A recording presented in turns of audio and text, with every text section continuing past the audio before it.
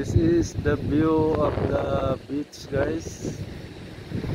The beach of our project. It's only 15 steps from the building from our project guys.